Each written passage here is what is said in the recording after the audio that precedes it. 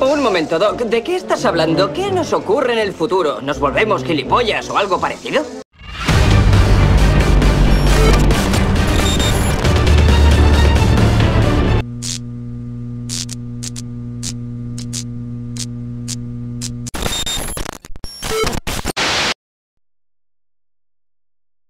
Muy buenas, futuros consumidores de Soil Green. Bienvenidos a un nuevo vídeo. Esta vez sé de sobra que me meto en un berenjenal de cojones. eh, pero aquí hemos eh, venido a jugar, ¿no? Pues eso. En el vibrante y a veces surrealista mundo del arte y la música, ha surgido una extraña rebelión. Los artistas y aficionados puristas se alzan contra la inteligencia artificial, eh, pero ¿es esta batalla una genuina lucha por la creatividad o simplemente una muestra más de contradicciones en el ámbito artístico?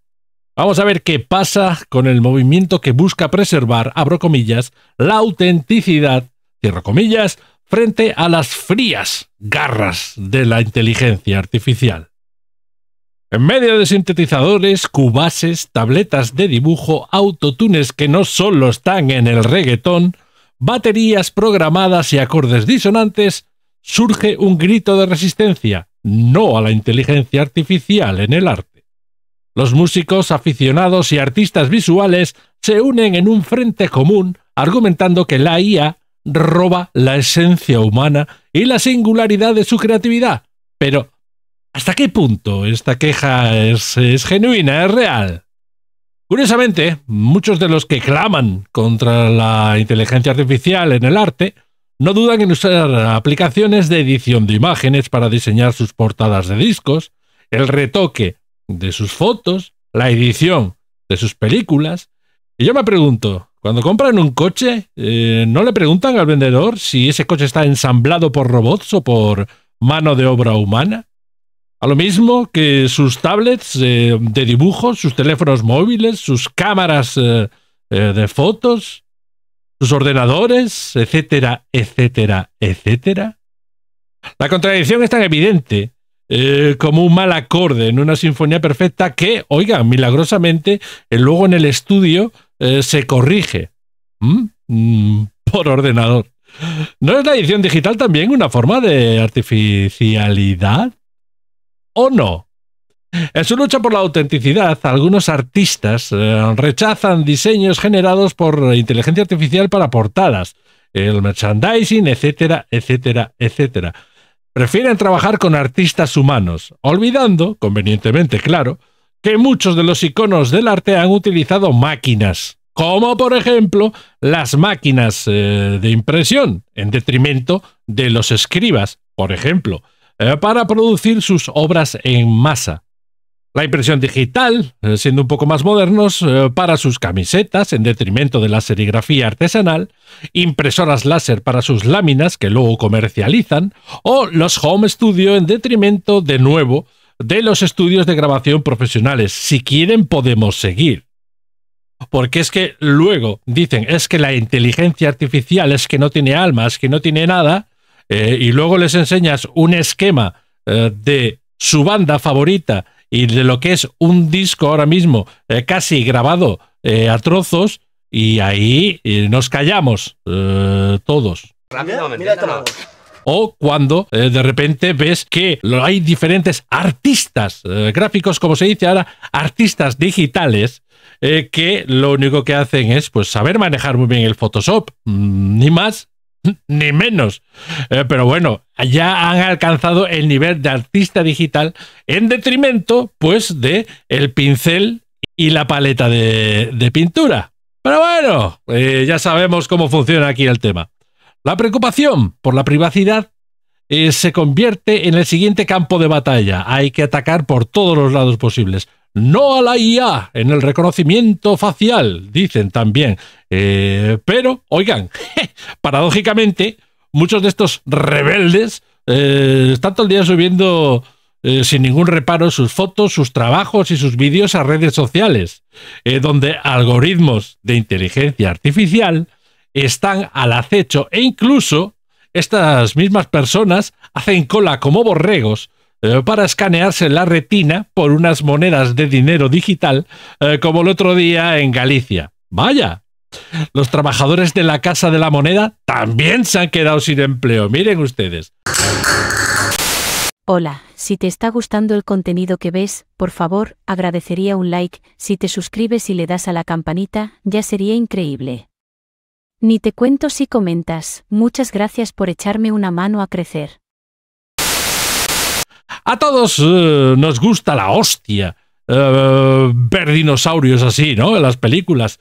Y de este otro tipo, pues eh, ya solo nos gusta a veces a los nostálgicos. Pero vete tú ahora, donde un chaval o una chavala de 15 años con esto y siéntate tranquilo a esperar qué te dice. Un pepino. A ver, la narrativa central de este movimiento, al menos lo que argumentan cara a la galería, es el miedo a la uniformidad creativa, eh, donde la inteligencia artificial genera obras que son indistinguibles entre sí, cosa que es bastante mentira. Eh, pero, ¿ese temor es realmente fundamentado? ¿No es la verdadera amenaza la repetición obsesiva de ciertos patrones artísticos que, curiosamente, también ocurre sin la intervención de la IA?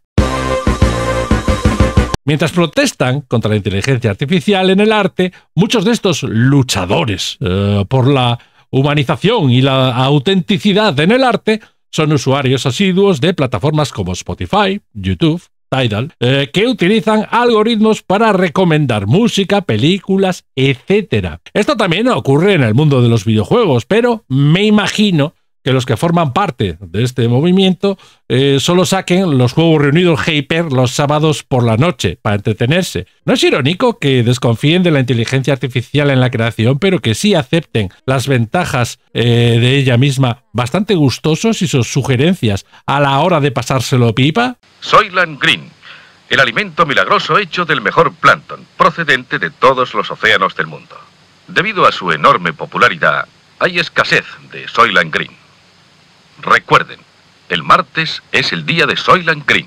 En esta extraña revuelta, los artistas y aficionados marchan contra la inteligencia artificial, ignorando las múltiples maneras en que ya coquetean y colaboran con ella, o simplemente eh, obviándolo y disfrutando de ella en la intimidad. Queda feo eh, enseñarlo. ¿Es esta una verdadera resistencia o simplemente es una danza absurda de intereses y egos? Al final del día, la batalla contra la inteligencia artificial en el arte se asemeja a un desnudo artístico, revelando la hipocresía que subyace en la industria. Quizás es la hora de dejar de pelear contra las máquinas, las herramientas y empezar a bailar con ellas, a usarlas, encontrando una armonía entre lo humano y lo artificial. Detrás de estas herramientas de inteligencia artificial hay personas creando Personas que a lo mejor no tienen el talento para poder expresar su arte de manera artesanal, por llamarlo de alguna manera, y con estas herramientas sí puede hacerlo. Las herramientas de inteligencia artificial, como los pinceles, las películas o la música, están manejados por personas. Si quieres, te puedes conformar con que te dibuje un palito o meterte horas con ellas hasta encontrar lo que realmente quieres que logren. Estas no funcionan solas. No son magia potagia. No les dices, créame un Velázquez inédito y te lo hacen. No. Señores, no funciona así. El que de verdad es artista en cualquier campo no creo que se vea amenazado, sino que al contrario. eh, Se revalorizará su trabajo como pasa con todos los artesanos. Pero claro, la mediocridad es posible que sea desechada por arte más efectivo y de momento al alcance de todo el mundo.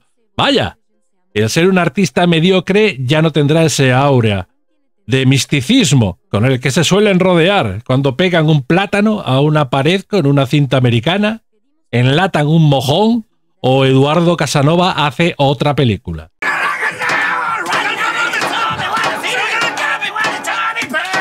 En este teatro del absurdo, la resistencia contra la inteligencia artificial en el arte destila una ironía inconfundible. Mientras algunos proclaman la defensa de la creatividad humana, otros bailan al son de los algoritmos sin darse cuenta de que en última instancia la autenticidad no reside en la fuente de la creatividad, sino en su impacto emocional. ¿No es hora de dejar de buscar enemigos artificiales y centrarse en crear arte que resuene? Que, que marque, que, que guste, que llegue, independientemente de las herramientas con el que se ha hecho.